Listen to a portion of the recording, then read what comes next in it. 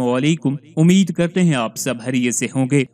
इस्लाम में इमाम और मौजन का मुकाम बहुत अहमियत का हामिल है। इमामत सुनत नबी सल्लल्लाहु अलैहि वसल्लम और सुनत सहाबा इकराम रज़ी अल्लाह तु है। आप सल्लल्लाहु अलैहि वसल्लम इमामत जब्राईल के बाद से ताहयात इमामत फरमाते रहे हैं। आप सल्लल्लाहु के बाद खुलाफाए राशिदीन और मुस्लिम सलातीन इस मनसब को अपने लिए शरफ का बायस समझते हुए इमामत करते रहे हैं।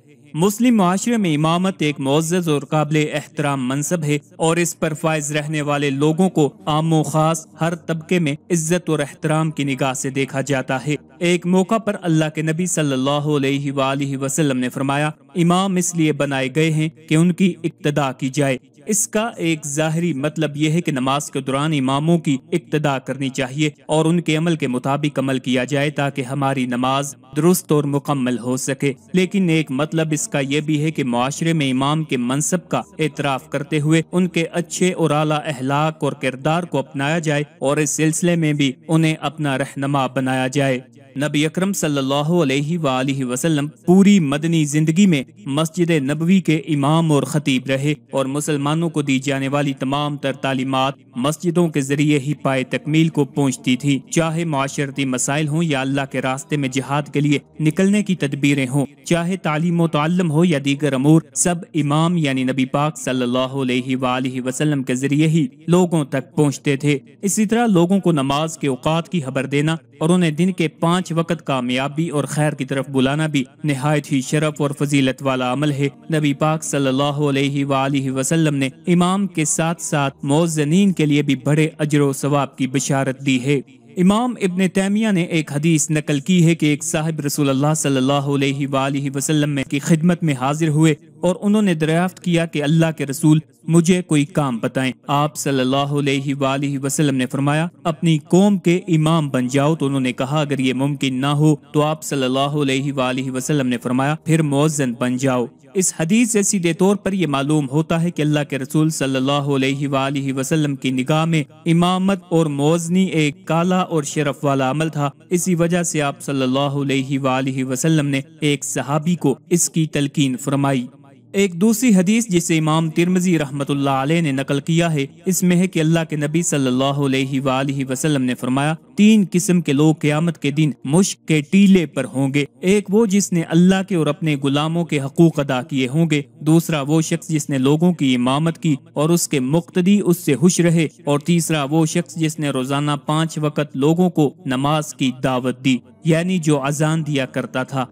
इस हदीस पाक से तो और भी वजाहत के साथ मालूम होता है कि इमामत और मोजनी अल्लाह के नज़दीक काबिल इज़्ज़त व तकरीम अमल है और दोनों किस्म के लोगों के लिए अल्लाह की खास रहमत और मेहरबानी मुकद्दर है। एक हदीस में अरशाद फरमाया कि महशर के दिन मोजनीन की गर्दनें सबसे लंबी होंगी, यानी वो दूसरे लोगों के मुकाबले में नुमाया होंगे और बसानी पहचाने जा सकेंगे। एक मौका पर फरमाया कि अगर लोगों को पहली सफ में नमाज़ पढ़ने और अजान देने की फजीलत का अमल हो जाए तो कुरान दाजी की नौबत आ जाए। इसी तरह अल्लाह के रसूल सल्लल्लाहु अलैहि वसल्लम ने खास तौर पर इमाम और मोजन के लिए रुशदो मगफरत की दुआ फरमाई है। हज़रत अबू सईद हदरी रज़ी अल्लाह तु से रवायत है कि रसूल अल्लाह सल्लल्लाहु अलैहि वसल्लम ने इरशाद फरमाया, मौजन की आवाज़ जहाँ तक पहुँचती है, वहाँ तक जिन्नो, इंस और जो भी चीज़ें उसकी आवाज़ सुनती हैं, वो क्यामत के दिन ज़रूर उसके हक में शहादत देगी। आज की वीडियो में लजीज आपको ख्वाब में इमाम को देखने की मुकम्मल तबीरें बताएँगे। ये तमाम तबीरें आपको मुस्तनद जैद फुकहा और उलमा की कुतब से इस्तफादा करके बताई जा रही हैं। जिनमें ख़ास तौर पर हज़रत इमाम इबन सीरीन रहमत और हज़रत इसमाइल नबलसी रहमत की कुतब शामिल हैं। ख्वाबों की ये तबीरें बताने से पहले आपसे गुजारिश है, अगर अभी तक आपने हमारे चैनल को सब्सक्राइब नहीं किया तो सबसे पहले हमारे चैनल को सब्सक्राइब करें ताकि आपको हर नई वीडियो बसानी और सबसे पहले मिलती रहे। अगर कोई आदमी, यानी कि इमाम, ख्वाब में अपने आप को तहारत कामला के साथ किबलारू होकर बगैर कमी और ज्यादती के जमात के साथ नमाज़ पढ़ाते हुए देखे तो तबीर यह है कि अगर वो वलायत काहिल है तो उसको वलायत मिलेगी। और अगर किसी ऐसे काम के हसूल की कोशिश में लगा हुआ है, जिसमें आम लोगों को फ़ायदा है तो उसमें कामयाबी होगी। या तबीर यह है कि अपने आप को जुमान में दाखिल करेगा, या किसी जमात की कफालत करेगा, या किसी ऐसी कौम का शरीक होगा, जो उससे खैर की तो तो करती है। अगर किसी ने देखा कि वो लोगों को गैर किबला की तरफ़ नमाज़ पढ़ा रहा है तो तबीर यह है कि वो लोगों के साथ धोखा करेगा और बिद्दत में मुबतला होगा। कभी इस ख्वाब की तबीर यूँ की जा सकती है कि सहब ख्वाब किसी ऐसे अमरे ममनू का मुरतकब होगा, जिसमें दूसरों को भी शरीक करेगा। अगर किसी ने देखा कि वो लोगों को नमाज़ पढ़ने का हुक्म दे रहा है और लोगों को लेकर किबला रू होकर दुरुस्त नमाज़ पढ़ा रहा है तो ये अलामत है कि सहब ख्वाब वाली बनाया जाएगा और उसमें अदल से काम लेगा। या इसकी ये ताबीर है कि सहब ख्वाब अमर बिल मारूफ नहीं अनिल मुनकर के फरीजे को अदा करेगा।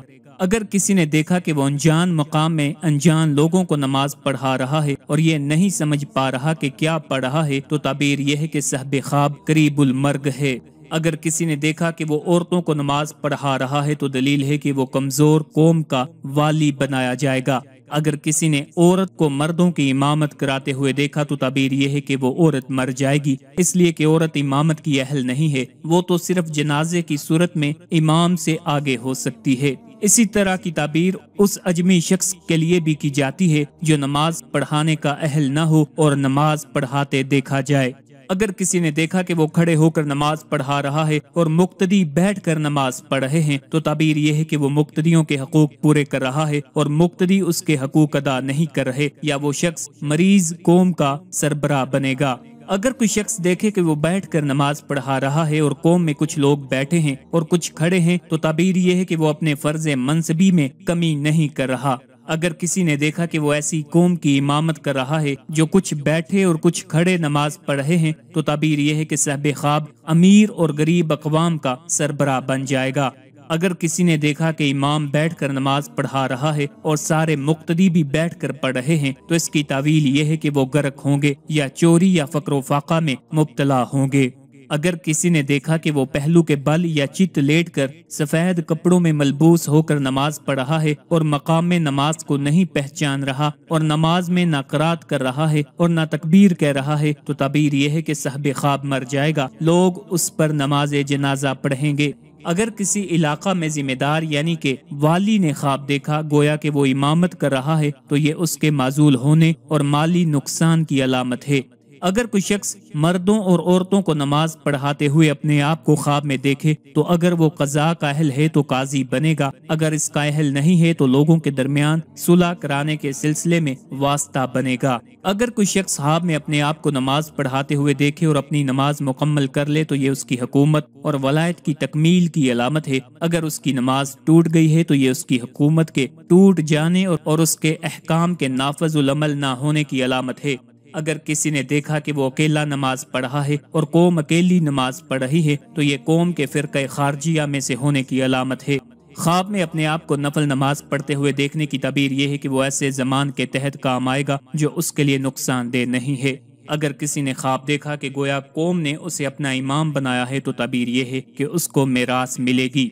अगर किसी ने ख्वाब में अपने आप को इमामत कराता हुआ और सही तरीके से करात ना कर सकता हुआ देखा तो तबीर यह है वो किसी से ऐसी चीज़ तलब करेगा जो हासिल नहीं कर पाएगा। अगर किसी ने देखा कि वो छत के ऊपर इमामत करा रहा है तो ताबीर यह है कि वो कौम में अच्छा शुमार होगा, कर्ज देने या सदका वगैरह देने में मशहूर होगा।